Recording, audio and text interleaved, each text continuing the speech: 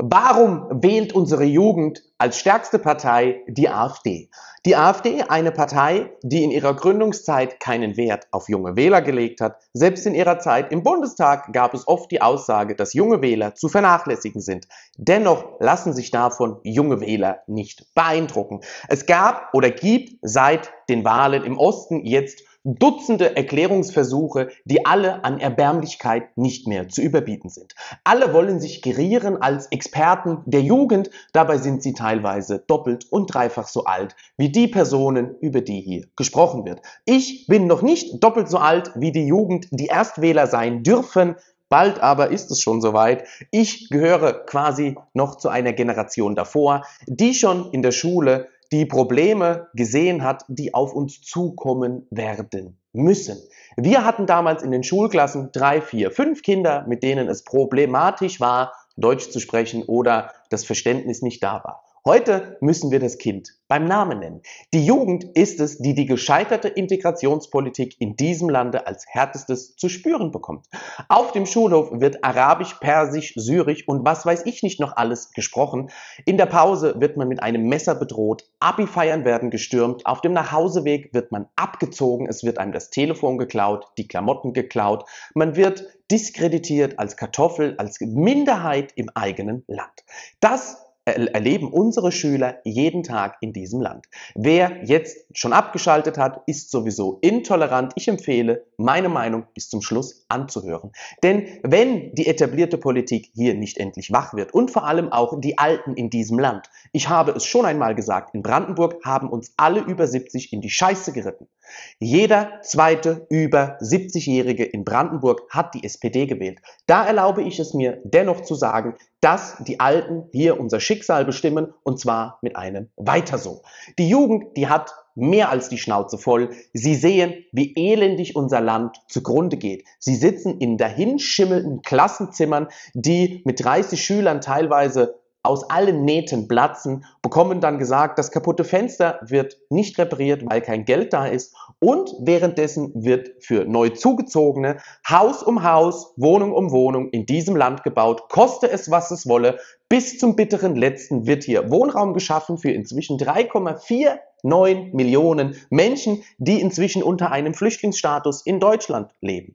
Die Jugend ist es, die es zu spüren bekommt, dass man in der Schule, wenn man Deutsch spricht, inzwischen der Außenseiter ist. Es ist völlig normal, dass Ali, Ahmed, Mohammed, Ibrahim und wie sie alle heißen, das ist keine Stigmatisierung von Namen, aber in Berlin ist Mohammed der häufigste Vorname bei Neugeborenen. Eine Islamisierung findet nicht statt, sagen sie. Fragt mal die Schüler, die sagen was ganz anderes. Und da dürft ihr nicht die fragen, die auf einer Privatschule sind, deren Eltern in einem grünen Wolkenkuckucksheim noch leben. Ihr müsst mal rausgehen auf die Straße und sehen, wie elendig unser Land zugrunde geht. Sie liegen an den Bahnhöfen, nicht nur in Berlin und Frankfurt, sondern im ganzen Land mit Spritzen in dem Arm, konsumieren offen Drogen auf der Straße. Aber Hauptsache um den Neuankömmling wird sich gekümmert. Ja, um den wird sich gekümmert. Wenn jemand hier neu angekommen ist, stehen ihm mehr Leistungen zu als die Grundrente für jeden, der in diesem Lande ein Leben lang bezahlt hat, bezahlt hat, bezahlt hat.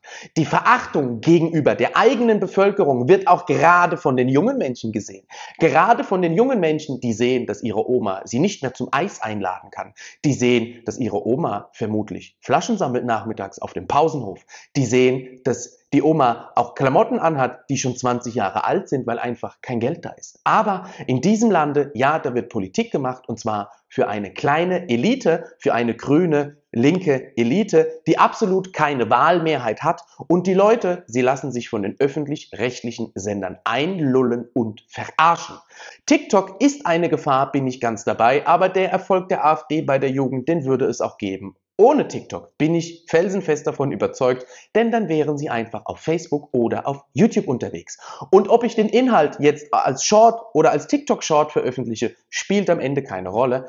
Die AfD geht dahin, wo die Zielgruppen vorhanden sind. Wenn das nicht mehr TikTok ist, ist das woanders. Und nochmal, unsere Jugend ist es, ich habe es heute Morgen in dem Video gesagt, es gab eine Messerattacke, da haben Zwölfjährige, Zwölfjährige mit einem Messer bedroht, um einen Euro abzunehmen. Ja, da werden schon kleine Kinder zu Messertätern, die sich gegenseitig abziehen. Und unsere Jugend, sie steht da und sieht, die Politik interessiert vieles, aber nicht die Situation auf der Straße. Und dann rätseln sie alle, wir sollten vielleicht die AfD verbieten und wir sollten vielleicht TikTok verbieten. Ja, bitte, dann verbietet doch TikTok, verbietet doch die AfD, dann werdet ihr sehen, dann greift die Jugend zur Selbstjustiz. Wenn ihr das einzige legitime demokratische Mittel eine Partei zu wählen, die ihre Politik verfolgt, ihnen nehmt und es keine Ersatzpartei dann gibt, weil im Moment gibt es ja keine, die diesen Kurs verfolgt und eine Nachfolgeorganisation wäre verboten. Wenn die dann nicht alle zu die Heimat rennen, also die NPD, was ich mir nicht vorstellen kann, dann greifen diese Jugendlichen am Ende auch zu Selbstjustiz. Und ich kann es niemandem verübeln in diesem Lande, wenn man inzwischen angegriffen und bedroht wird mit einem Messer oder messerähnlichen Gegenstand, wird es in Zukunft mit Sicherheit Anzeigen geben gegen die Angegriffenen wegen übertriebener Notwehr. Ich würde mich auch wehren, bis derjenige mir gegenüber aufgehört hat, sich zu bewegen. Ich weiß, ich müsste vorher aufhören, aber in der Situation kommt dann auch ein Deutscher mal in einem Blutrausch am Ende und dann wird halt so lange auf den Kopf eingeschlagen, bis es einer weniger gewesen ist. Ja, harte Worte, aber das ist eine ehrliche Meinung. Es wird am Ende darauf hinauslaufen, dass sie sich gegenseitig nicht nur die Köpfe einschlagen, sondern dass sie sich gegenseitig so lange schlagen, bis einer daran gestorben ist. Das ist schlimm, aber der Wähler und die Jugend, sie rufen laut nach Hilfe und zwar schon seit Jahren und die Politik, sie ignoriert das. Und genau das wird ihnen auf die Füße fallen. Es ist das eine, dass die Jugend den Alten die Rente bezahlen soll. Viel schlimmer ist es, wenn die Alten den Politikwandel verhindern. Ich weiß, die, die hier zuschauen und über 70 sind, haben mit Sicherheit keine SPD gewählt. Also fühlt euch nicht immer gleich angegriffen. Aber wenn wir uns mal anschauen, alle unterhalb des Rentenalters in Brandenburg haben als stärkste Kraft die AfD gewählt, weil sie wissen, dass die Altparteien jetzt jahrelang Zeit hatten und es hat sich nichts geändert. Auch in Brandenburg, man spuckt große Töne, was das Thema Migranten angeht. Man ist nicht in der Lage, seine Grenze zu kontrollieren. Und wenn die Bundespolizei ja erst seit kurzem wieder Grenzbehörde ist, hätte das Land Brandenburg ja schon längst seine Landespolizei auch zur Grenzpolizei ernennen können. Jeder, der sagt, das geht nicht, hat nicht verstanden, wie Politik funktioniert. Politiker machen Gesetze so lange, bis ein Verfassungsgericht sie daran hindert. Ansonsten können Politiker tun und lassen, was sie wollen und das sehen wir jeden Tag.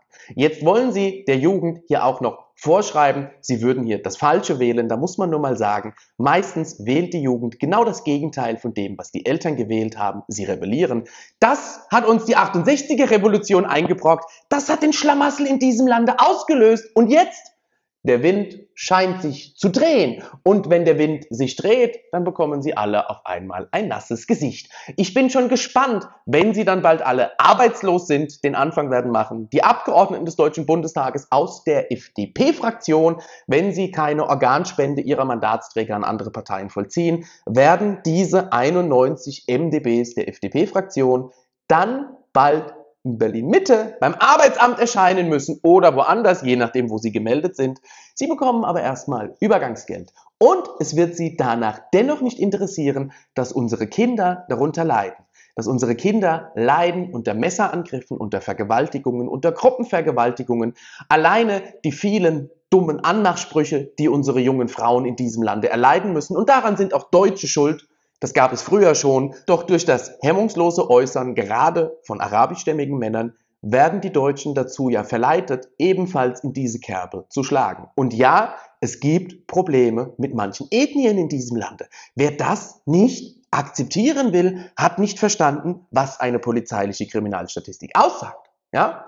Wenn der Anteil der tatverdächtigen Ausländer überproportional zu seinem Bevölkerungsanteil gibt, liegt es nicht daran, dass die alle traumatisiert sind oder dass sie alle nicht wissen, was unsere Gesetze sind, sondern da gibt es strukturelle Probleme hintendran, aber wenn man die Religion immer außen vor lässt in der Problemanalyse, dann kann man am Ende dann nicht zu einem konkludenten Ergebnis kommen, denn es gibt auch religiösen Extremismus, sagt selbst das Bundesamt für Verfassungsschutz, aber am Ende ist es wieder TikTok und die AfD gewesen, die unsere Jugend versaut, damit sie rechts wählt. Und ich sage, die können noch viel rechter wählen, wenn ihr endlich nicht wach werdet.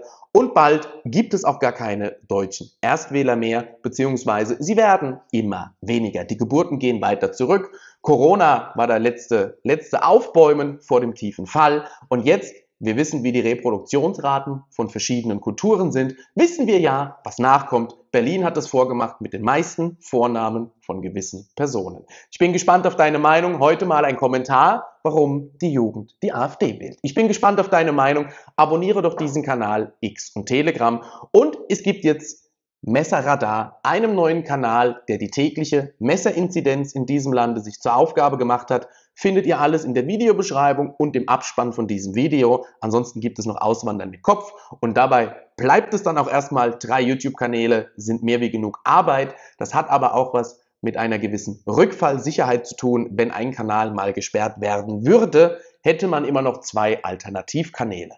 Deswegen dranbleiben, abonnieren, Daumen hoch, Kommentar da lassen und bis zum nächsten Video. Damit bis bald.